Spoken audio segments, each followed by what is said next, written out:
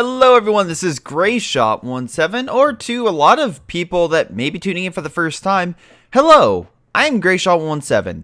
I do Company Heroes 2 commentaries and other Let's Plays, replays, etc. on other strategy games, but the main piece of content I make is Company Heroes 2.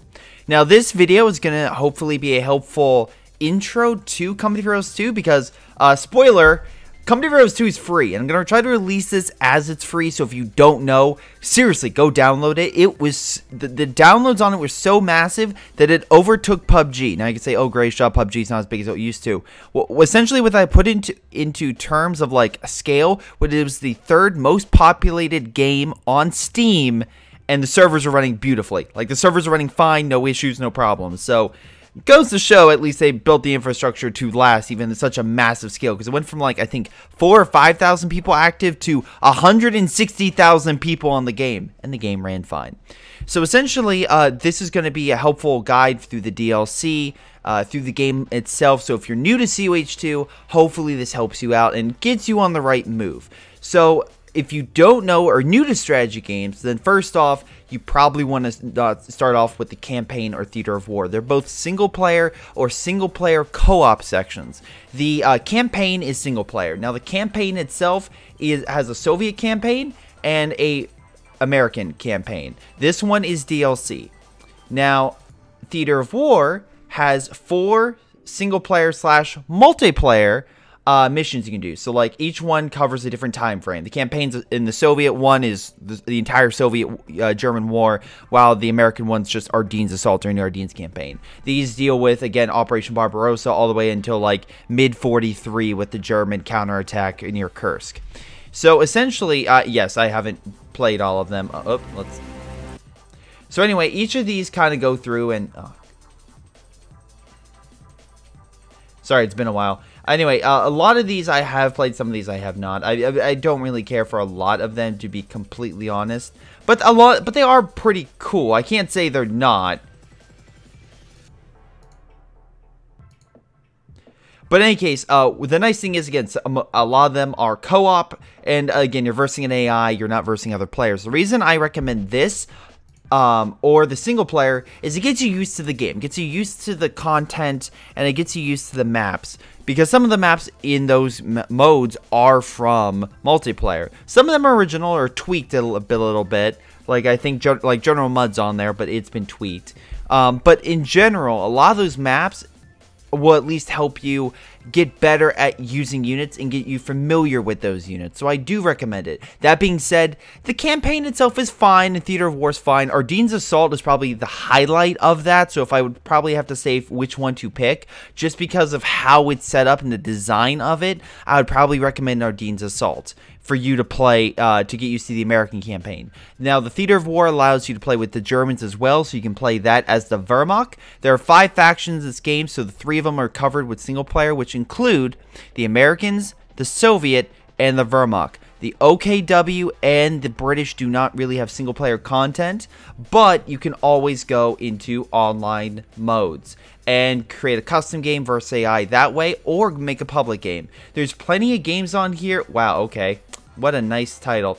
There, there's plenty of games on here that have like versing players, versing um, AI, etc. But these are really chill, kind of lax games a majority of the time. So if you just want to relax, have some fun, and get used to the game, this is actually not a bad way to do so. And a lot of times it's versing very hard AI, which will also get you used to it. Like this, for example, they're playing on Expert, and most likely it's just a cluster of units coming through.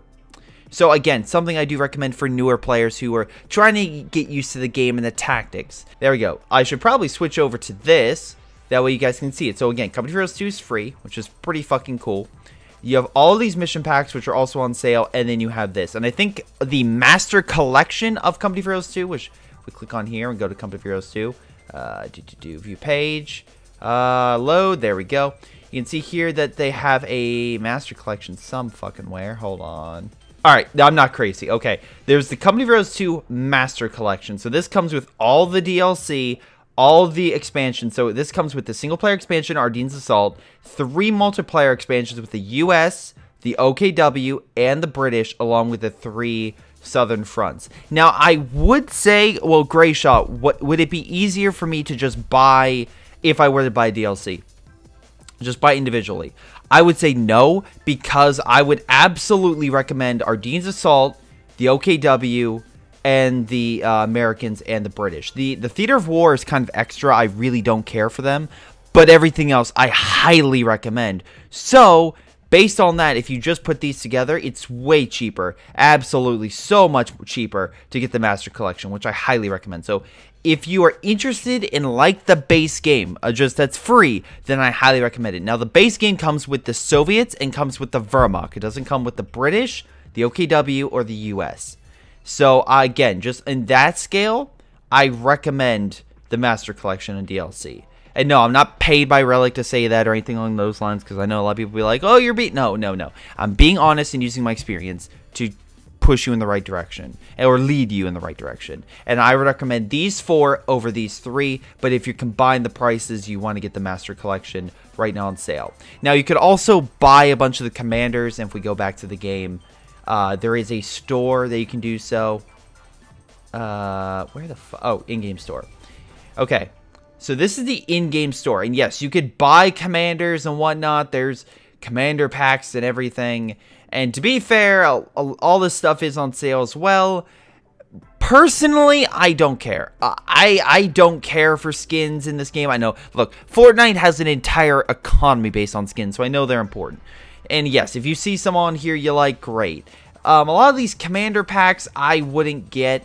I they can be very expensive. You can see right here it's seventy three dollars, and you're like, oh god, Greyshot. How am I supposed? That that that seems unreasonable. Especially because yes, when you unlock a faction, you get about three to four commanders. The Verm the original ones have tons of commanders you can pick from, but like I said, you, there's more you unlock. But if you play the single player, if you play the Theater of War, and play public games, you earn credits that can be used to buy it. So right now I have a, I have 181,000 credits just to put in perspective. So yes, if I wanted to buy essentially $5, I could put $5 into getting this. And yeah, I have more than enough. So actually on that scale, holy crap, I have close to, holy macro, I have like, what, 40 bucks? Say, six, yeah, I think that's about, yeah, sure, math, math hard. Anyway, um, I have a lot of, I, wow, okay. Uh, yeah, I have a lot of credits I can use to buy this stuff or just, you know, commanders. And yes, commanders are 15k, which again, I could buy a ton as well. I, I don't care. I, I really don't. Um, a lot of these commanders, it's just based on preference, honestly, about what. And you could always look at the commanders and see, like, the units inside and be like, oh, that seems interesting, and then get them. Uh, like I said, if you, like, play Ardennes Assault, you can unlock uh, points and commanders and stuff like that. You can unlock skins and bulletins as well, so you don't need to pay for it. If you if you don't want to pay, you don't have to. And it's not like you not paying is not it will do it. It's kind of my probably best example would be like Rainbow Six Siege, where you can pay to unlock a lot of the commanders off the bat. But if you play the game, you are enough experience where you can just buy the commander very pretty quickly. So again, it's up to the player. It's up to you what you want to do. Personally, I have I've I haven't paid for any of this stuff, um, except for one and it's stupid. I bought the counterattacks because I wanted the B4. Uh, if you don't know, I have a B4 Chan, aka Anime Girl, that's literally made out of it. So during your free weekend, I was like, I'll get it. Literally, the next thing I unlocked was counterattacks. Shit you not. That was the next thing I unlocked. So again, I, I would do the recommendation just don't buy it. Use your credits that you earn this stuff to buy it, not your actual cash. That, that's just me though. Um, if you want to buy quicker, great. If you don't, perfect. Um, but in any case, let's get to it, shall we? Uh, there's also uh, replays you can look at, so this kind of helps you go over it. There's a brief tutorial mode, but this is so basic. This is absolutely basic. Um, not not being mean to Relic, but this is just a very very light way to kind of show you the examples that come to Heroes 2. So if you're new to it and you still don't know, there's this tutorial stuff, and there's like a base mission to kind of help you out, but it's again not too difficult. Anyway, uh, we also have uh, modding. So yeah, there's actually quite a number of mods here. Of course, anime, because you know anime rules the world. But there's a there's a, a lot of really awesome multiplayer maps you can pick from. There's a lot of cool single player modes and stuff like that. There's a lot more anime than I actually expected. Okay. Uh, yeah. So also you have uh, special like co-op maps you can do as well. Um, if I can try to find it on here, let's see. Oh wait, mission list. yeah, here we go. The Iron Hearts campaign is a single player mod based, di- very difficult, very difficult, but a, a mod based uh, single player for the Wehrmacht, and I highly recommend it um, if you're good. And uh, again, those are only for the most experienced players. Um, there's public games to go through. You can browse once again the most popular stuff. So let's go top rated, and you have all sorts of different maps and uh, modes you can do. Uh, there's Spearhead. Spearhead's a good mod as well. You can try. It, it changes up the units, so there's something you can do. There's so much content in this game. Uh, yeah, there's Theater of War, there's Living Dead, which I have a zombie mode on. Plenty of maps, plenty of modes, plenty of stuff for you to do. Also, you have uh, this uh, the same guy, Opulent Omega, made a bunch of co-op maps. I highly recommend those as well. Um, you have you have really dumb maps like Sid's Hard Summer, but I just love. They're so cheesy and I love it. But there's all sorts of content for this game. This game has been out for five years, and it has five years worth of content built into it. So if you're looking to play a game that has plenty of stuff in it, this game has it for you. And there's all sorts of stuff. Again, you can have custom anime skins, and those go on the side of uh, tanks, and of course your uh, Bolton over here. So you can again customize stuff. Most of the modding stuff will only work in uh, public games, but if you play single player and unlock uh, special stuff, that will go into like your multiplayer skins. If you unlock a single player skin, it'll go into multiplayer. So just as a heads up.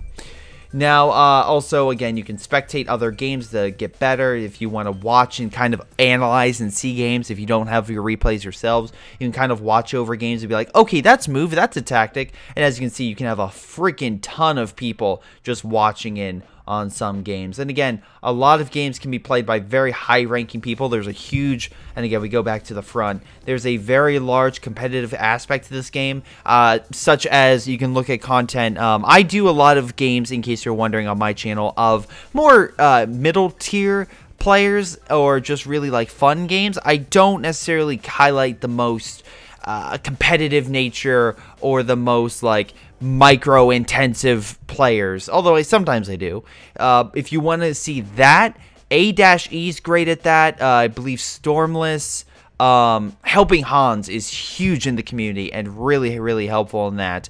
But there's all sorts of amazing Company of Heroes 2 streamers and YouTubers that you can go. There are some people where you can actually go and they do have previous content of this game, such as Call of Duty Man. His channel's still up and he has I think hundreds of great Company of Heroes 2 videos. Um, but again, he's he left about a year ago to go pursue other careers. So again, good good on him. But there's stuff like that. You you have some crazier uh, people like Malaka that also left. Um, but again, it's like right now there's so many really good Company of Heroes 2 streamers and YouTubers that I highly, highly, highly recommend. You have General's Gentlemen, Sin 7, plenty of awesome guys you can go uh, and watch their content for and get more invested in this game. So like I said, if you're new into that, there's plenty of stuff. Plus, uh, on the 10th, there's going to be a major patch and redone. So everyone is going to be like at base of like, okay, every faction's been updated, especially the Americans with their tech tree. Apparently, they're being changed. Um, but yeah, everything's being changed, and it's going to help even things out for people who are new because they'll be new and then people who've played a long time because they'll be learning new systems. So if you're wondering about being crushed in multiplayer you should. Multiplayer is a bit of a stretch which is why again campaign theater of war public games or auto match. Versing other players i would say give it a little bit of time.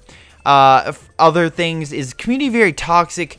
No. If especially if you play a multiplayer you'll you'll verse a lot of good players so you have to worry about that. And again, people will call you out if you're not being cooperative. But if you help out your teammates, if you are being uh, cooperative and communicating with them, you'll find this game is very enjoyable, and that's why I keep going back to it. Um, and in case you're wondering, Soviet, Wehrmacht, American, OKW, and British. These two ones you, you, get normally. These three are DLC. And again, you can buy all the DLC for 750 so it's, it's a great deal.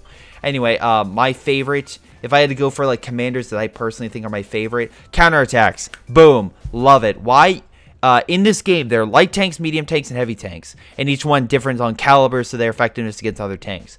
Love the heavy tank because it can take a it can take a beating, but my my favorite unit in this game by far is the B4. Uh, I'm sorry, by far is the B4 because I love it so so much. It's a one-shot artillery piece. It's inaccurate as hell, but if you believe like just like you Yu-Gi-Oh when you he believed in the heart of the cards or any other sports movie where they believe in their team. You believe in the B4 and it'll hit the target every time. A really good doctrine, a lot or, uh, newer players use also be shock rifle. This is great because you get a lot the IS-2, shock troops, a lot of KV-8, really powerful units that are just very effective. A lot of other units here, uh, again, can be also very effective. But again, it's like those are like the base where it's like if you're newer, that would really help you out.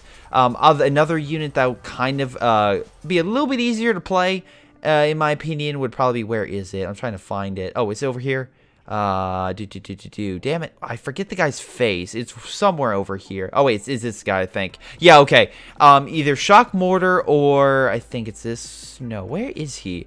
Um, no, it's this guy, right? No, it's not that guy. Oh my god, I am so, so terrible with faces. I'm just like looking, I'm like, I need putting glasses. Like, I can't see. Where's my glasses? I just, I just can't see. Where's, where's the ISU 152? I'm looking for a specific one. The, uh, frick. Oh, duh.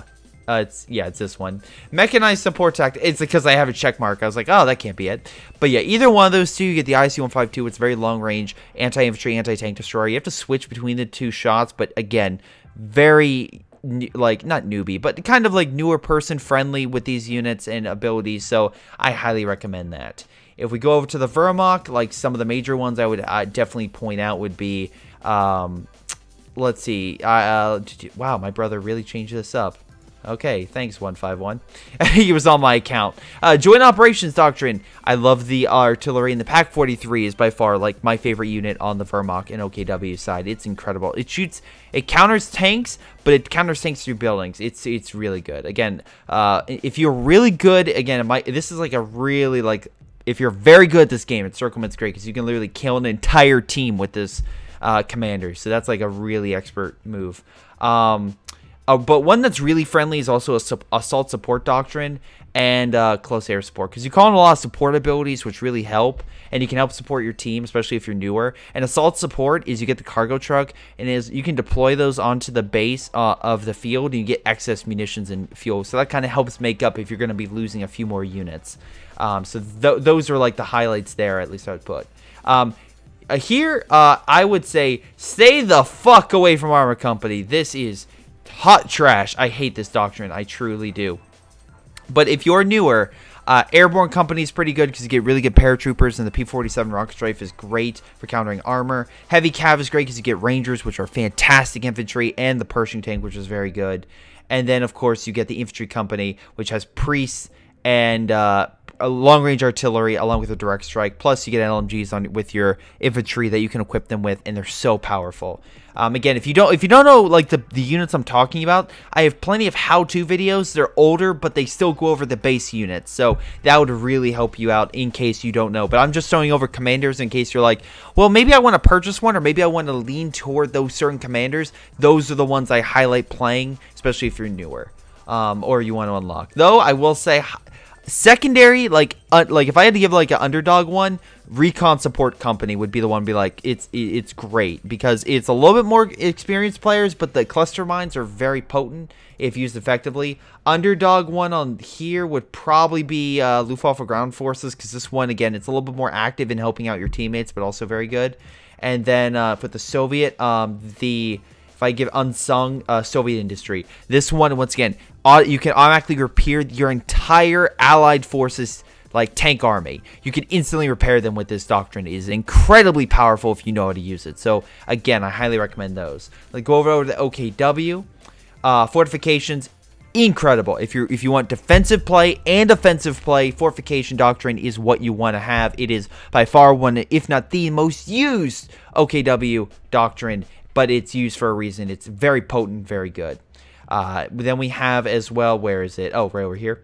We have the Breakthrough Doctrine. You get this, but the Yag Jagdtiger is incredibly, it's probably the most powerful tank destroyer of the game. It is so incredibly powerful, but for a new player, this will help you counteract all the allied armor. You have to watch out for flanks, but it's very good. Plus, you get some good infantry bonuses. And then Special Operations, you get a lot of great infantry bonuses and great infantry uh, tactics that you could get like better upgrades for you, the most powerful units, so you make them even more powerful. Plus, the command tank, you just get boosts, so that just helps you out a lot lot more with helping out your teammates because again, it improves sight and movements of all vehicles, including your allies. And this game has one player through four players, so that's a lot of tanks you can uh, potentially upgrade. And again, you can pick them up here, and that's when you that's how you deploy with your loadout. Um, and then, of course, you have all the skins, special bulletins, which really don't have too much of an effect. Some of them do, but more like the 5% stuff. That's where the biggest stuff. You get a nice little victory ending, and then you get your uh, little decal on your tank or whatever. The British, all right. Now, uh, oh, I'm sorry. With the OKW, probably the, the, special highlight one is Elite Armor. I, I, I like the Sturm Tiger. They have deep, they have made it a little worse over time, but th this doctrine's pretty good, especially if you have to deal with blobs. But in any case, the British. Uh, highlights absolutely would have to go with Commando. This the bombers. Oh boy, if only you could. I have plenty of videos with the bombers, but they are so powerful in the beginning. They have been nerfed a little bit, but they're still very powerful. If you have if you have an enemy team that is blobbing like crazy, this will on th th this will help on this will help destroy their fortifications. Another one would most likely be with the uh, AVRE, very good for killing blobs. Uh, once again, similar to the Sturm Tiger, but has its own bonuses with maneuverability and the Crocodile. Holy God, I would pick the Crocodile. Now, take your pick. Um, there is another Crocodile one focus. Um, that is this one, the Vanguard Operations. Uh, either one is good. I think this might be a little better, um, but they're both relatively on par depending on what you want to do. This one has strafing support, vehicle repair, for logistics for commandos, a lot of great abilities, but this one has more AT stuff, Concentrated Fire Barrage helps holds the back. You can give weapons to your allies. It has a lot of good abilities as well. This one's probably edged out ever so slightly, but again, I, I either one is good. And then for like an unsung one, I would probably look. I I probably have to go with Royal Artillery because the Valentine tank you can help spot enemy vehicles in their fog of war area. So I highly recommend that. Um, there's actually a lot of the British are really, really freaking good. So again, uh, the old okay. So once again, ones that not really are like that suck that I absolutely would not unlock if I were you would be something along the lines of, uh, well, hold on. Uh, for the British, the British is a weird one. Um, because really, I I have a kind of a soft spot for all of them. I don't really see a, a really bad one per se.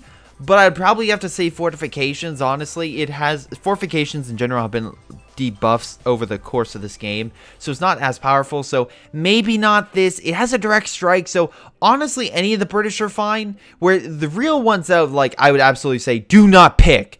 Absolutely don't pick. Would be something like Scavenge Doctrine. Don't pick this it's a waste of your time. I, I don't like this doctrine. I feel it's a waste with the units. It doesn't give you a really good edge. Just if you're going to unlock doctrines, don't unlock that. If you're going in the American team, again, Armor Company, stay the fuck away from this doctrine. I hate it like a burning passion. It sucks. It's terrible. I don't like the units. I don't like the gameplay of it. It's it's just bad. I mean, other than that one, I guess the rest of them are fine.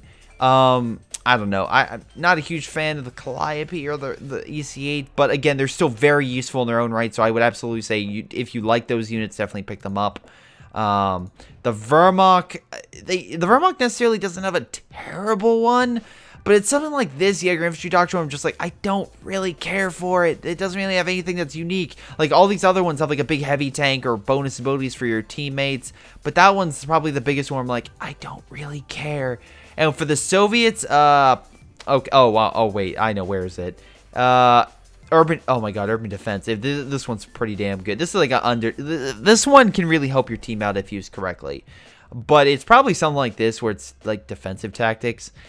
It's just, a lot of these abilities are not great. You can get, uh, you can get the, like, the Dushka in like Lend Lease, and that's way better, especially because the M4C Sherman.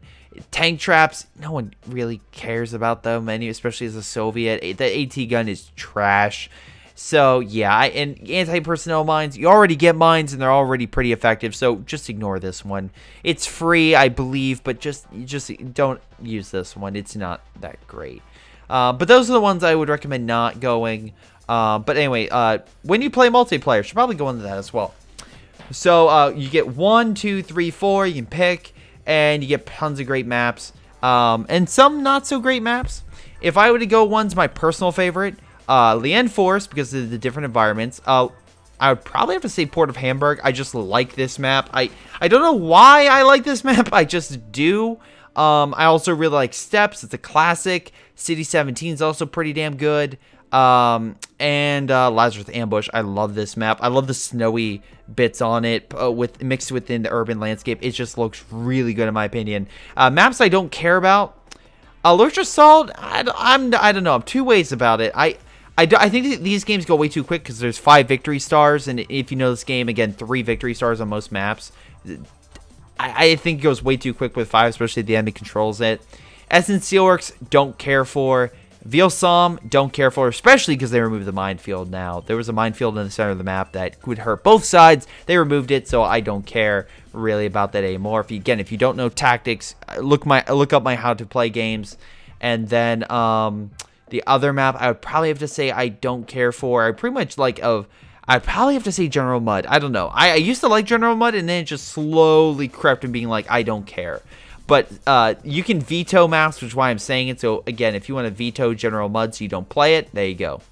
Um, but those are like the big 4v4 maps. Uh, 3v3, if we had to go into them, some of them are really massive. That's when I would veto like Steppes or General Mud because you can see here they're just massive on this game. So that can really just cause a lot of issue. Angermude's a good 3v3 map. Um, Fields of Windhoek is pretty good. Uh, Port of Hamburg's pretty good. Reg, I, Reg of Winter is my favorite. Absolutely. They keep removing the water. Originally, when this game released, there were so many maps with water, and they still have been removing them. But you essentially why you can there's ice, and if you break the ice, tanks will fall through. I love that feature so much. I wish they had a map that was essentially islands, but all ice, so that way you would have tanks just falling through. I know that wouldn't make sense gameplay wise, but I would fucking love it. Um, Across the Rhine's a good map and Outerbrook Station's a good map. So those are some really good 3v3s. A lot of the larger ones from 4v4 I would veto because they're just so massive. If you're good with micro, then maybe you enjoy them. But for me, I just don't care for those maps because, again, they're too massive in my opinion. In 2v2, I, I don't know. All In 1v1s, I'm not great. So I really couldn't say about my favorite on those because I don't play them. Though I will give a special shout out to... Um, where is it? Uh, Crossing the Woods. I really do enjoy this map. I think it's great. I, I, I truly do enjoy Crossing the Woods. It's a smaller map, but I just like the environment and the setting of it. Um, other maps, I like Cross Point. I know that's a kind of a mixed opinion on that map, but I really do like that. Um, and uh, I think, yeah, Rails Metal, Metal I enjoy. Um, it's it's a really nice map. It has a lot of good environments. I, I do enjoy that as well. So those, I guess I have to pick. Oh, Vaux Farmland as well. I kind of enjoy that. It's a nice big wide open map with a couple houses, but really enjoy that landscape. But those are the my favorites of this map. So hopefully that kind of shows you which one's the veto and pick. Again, 1v1, 2v2, go to Helping Hans, go to AE. They are more experienced with those maps. I play mostly with 3v3 and 4v4s because I play with fans, a larger group. So that's why. Um, but yeah, I think that's a good overview, especially if you're new into this game. Also, if you're new, you can watch Twitch streamers. There's plenty of content here you can check out. Also on YouTube, just search Company Heroes 2 and you'll probably find a lot of my videos along with other stuff. But this is for if you're new to Company Heroes 2. Hopefully this video helps you kind of settle on in and gets you into it. Or at least get you an idea of what everything is. But that's everything thank you for watching. Hope you hope you enjoyed this video. And again, this is kind of just like a intro into the game, kind of help you pick, help you decide what to do. And yeah, thank you for playing Company of Heroes 2. Uh, I was surprised that Relic made it free, but I think that's a great choice. Bring in some new uh, fresh blood for me to kill. I mean, play with. And of course, if you would like to play with me, anytime you can become a Patreon supporter and B4Chon supporter to join in on my live streams, which are Monday, Wednesday, and Friday from 6 to 9 p.m. But also, if you want, you can also join in on uh, Fridays for Fan Fridays. Unless I'm busy or I have a, a emergency or something along those lines, then I'll probably reschedule it. For example, this week I rescheduled it to Wednesday, and I still played with fans, which was a great time playing custom games. But also, I want to highlight something for any person of mobile content. Expect a ton of COH2 videos because between I believe it's gonna be the 12th of December. It's gonna be on the Thursday, so it's it's sometime then. Through the 25th, expect 12 days of COH2 where I just bring out nonstop videos. And then maybe at the end, if I hit 10k, I might do a musical. We shall see, uh, or we'll, we'll, see how things go. But in any case, guys, I want to thank you for watching. Hope you guys enjoyed. Make sure you like and subscribe for more content on Greyshot Productions. It's been Greyshot 117, and I'll see you all next time. Hello everyone, before I go, I want to give a special shout out to Rifle, JP Val, Just Thomas Plays, Junior Chickless, Freaking Wookie, Matthew Leppen, Milam, Only Play Apples, White Hot D, Sergeant McPain, Ollie, Delta, Joey, Ace, Jordan Savat, R.A. Spawn, Nathan Angus, Aaron Yii, Tim, and of course, Leo Liu. Thank you all for your amazing support, and I'll see you all next time.